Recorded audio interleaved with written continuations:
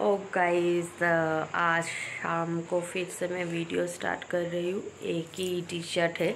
इसके लिए कुछ मत सोचिए कि मैं वीडियो शूट करने के बाद फिर से नाइटी पहन लेती हूँ।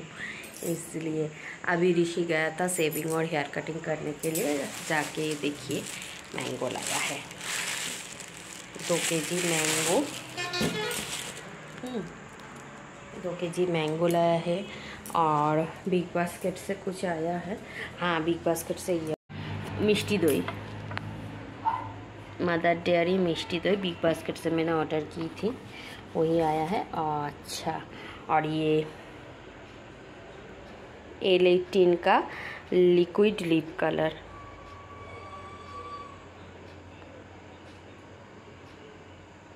ये कितना प्राइस लिया है? ये हंड्रेड ट्वेंटी रुपीज़ ली है।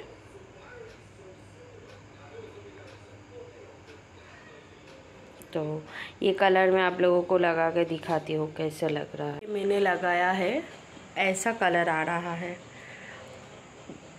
बस बहुत लिप में ना फट गया था होट फट जाता है बोलते हैं ना। अभी कैसा लग रहा है? कोई मेकअप वगैरह नहीं किया ना, इसलिए ऐसा अजीब सा लग रहा है मेरे होठों को।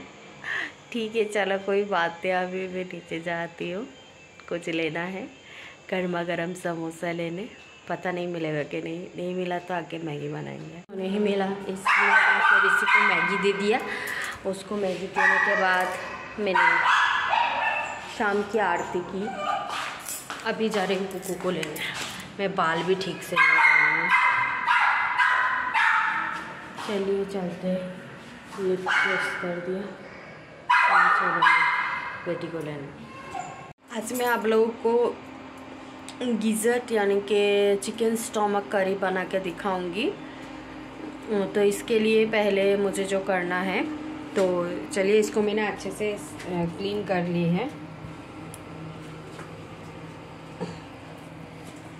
इसको मतलब पानी में पहले धो के उसके बाद नमक से अच्छे से मैश किया। मैश करके फिर पानी में नॉर्मल पानी में दो बार धोया। उसके बाद अभी डालना है, गर्म पानी में ये पानी को उबल आएगा ना, तब जाके इस पानी में डाल देंगे। उबल आ गया, ऐसा जब उबल आएगा ना, तब ये सब छोड़ देंगे।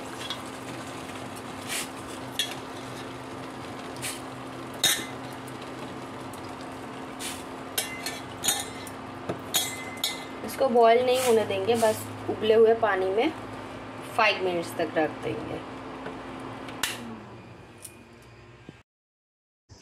गैस पे मैंने कढ़ाई बिठा ली और कढ़ाई पे ऑयल भी गरम कर लिया है। अभी इसमें डालेंगे फ़ुरन।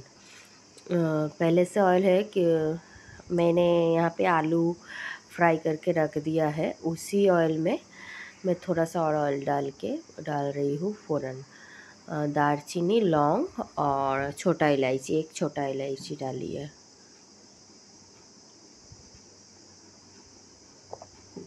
और एक तेज पत्ता अब डाल दिया दो मीडियम साइज़ का ऑनियन। इस साइज़ का मैंने ऑनियन ली, ली थी प्याज। इस साइज़ का दो प्याज मैंने कट करके डाला है ऑयल में। अब डाल दिया है एक टमाटर। इस साइज़ का छोटा टमाटर है इसलिए दो डाल दिया। अब इसको अच्छे से मिक्स करना है। ऑयल में फ्राई करेंगे और ये गार्लिक में अभी पीस लूँगी। गार्लिक पीस के मैंने डाल दिए हैं। इतना सा ही गार्लिक लिए ही थी। ऑयल में डाल के अब ये बॉईल किया हुआ स्टमक डाल दिया। सब कुछ एक साथ फ्राई करना है। सो जितना फ्राई करेंगे, उतना टेस्ट बढ़ेगा। अब डाल देंगे एक ऑनियन पेस्ट वो ऑयल में भी डाल सकते थे। भूल गए थे, इसलिए अभी डाला। कोई परवाह नहीं। बस डालने के बाद अच्छे से फ्राई करना पड़ेगा। अब डाल देंगे हल्दी पाउडर। तीखा आप लोग जितना खाते हो वो समझ के डालना है। चिली पाउडर डाल दी है। ये जिंजर पेस्ट एक टीस्पून जिंजर पेस्ट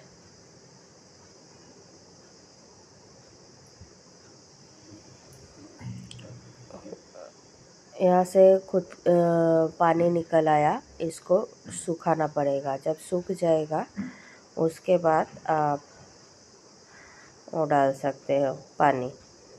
इसका खुद का पानी है ना? ये एक टीस्पून जीरा पाउडर डाल दी है। एक टीस्पून धनिया पाउडर, हाफ़ टी स्पून धनिया पाउडर डालना है। क्योंकि धनिया लीफ भी देंगे, धनिया पत्ता भी डालेंगे। ज़्यादा स्मेल हो जाएगा, ये देखिए। धीरे धीरे इसका पानी सूख रहा है। मतलब टमाटर को मैंने ऐसे खुंती के साथ पीस लिए, अब डाल देंगे, फ्राई किया हुआ आलू। नमक।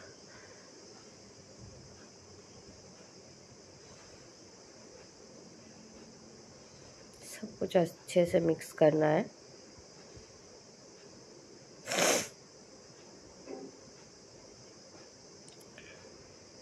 फाइव टू टेन मिनट्स तक इसको मिक्स करना है। अभी मैंने डाल दिया थोड़ा सा चीनी और ये डालेंगे सनराइज़ गरम मसाला पाउडर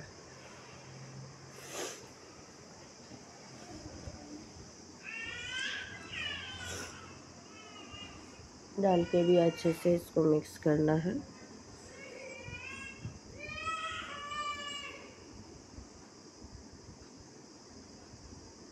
ये देखिए कैसे फ्राई हो गया, पूरा पानी सूख गया। अब इसमें डालेंगे गरम पानी।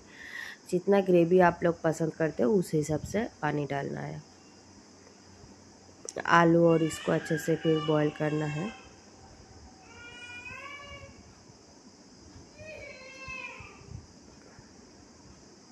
अब इसको ढक देंगे।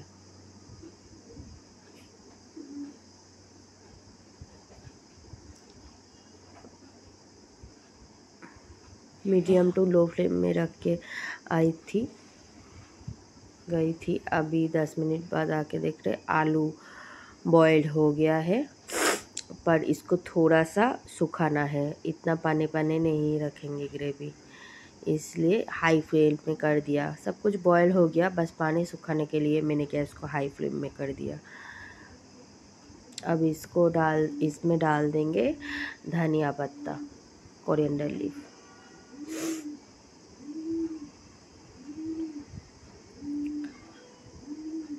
ये देखिए पानी सूख रहा है कैसे उबाल आ रहा है। हम्म, रोटी के साथ खाएँगे इसलिए ज़्यादा ग्रेवी नहीं रखेंगे।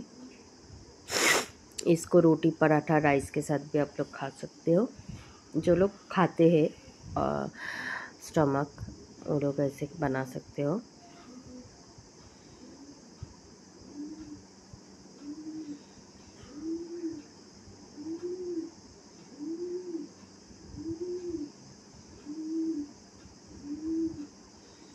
ये देखिए, मैंने ऐसे ग्रेवी रखा है।